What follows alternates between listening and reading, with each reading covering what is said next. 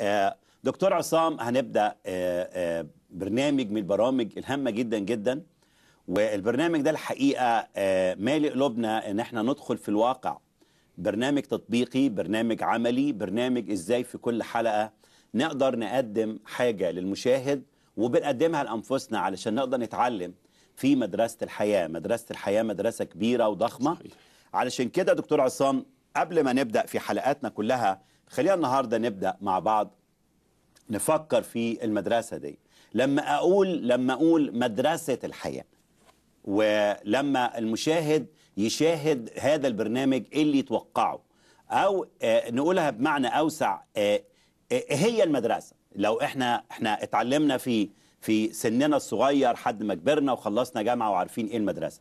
لكن لما نتكلم عن مدرسة الحياة بنتكلم على شيء يختلف تماما. ده صحيح. فقول لنا كده باختصار حسب ذهنك إيه هي المدرسة؟ المدرسة هي المكان اللي الشخص بيتعلم فيه ببساطة. أوكي. ولما نقول مدرسة الحياة يبقى الحياة كلها مدرسة. أصبحت مدرسة. أيوه. في كل مراحلها امم في كل أماكنها أيوه. في كل مجالاتها امم في كل أعمارها. آه. ويفضل الواحد طول ما هو في الحياة الحياة بالنسبة له مدرسة. مدرسة. مدرسة. فهيفضل يتعلم. يا يا.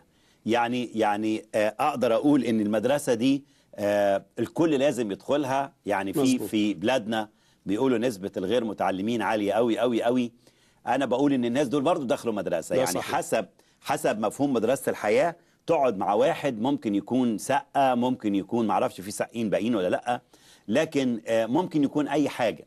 الشخص ده دخل المدرسة لأن مدرسة الحياة في المكان اللي أنا فيه في ال- في الوسط اللي أنا فيه. حتى لو ما كانش دخل المدرسة الفعلية ابتدائي وإعدادي وثانوي. آه. فطول ما هو على الأرض وفي الحياة فهو في مدرسة. واعتقد ده مفهوم عام عند كل الناس أن الحياة مدرسة. مدرسة.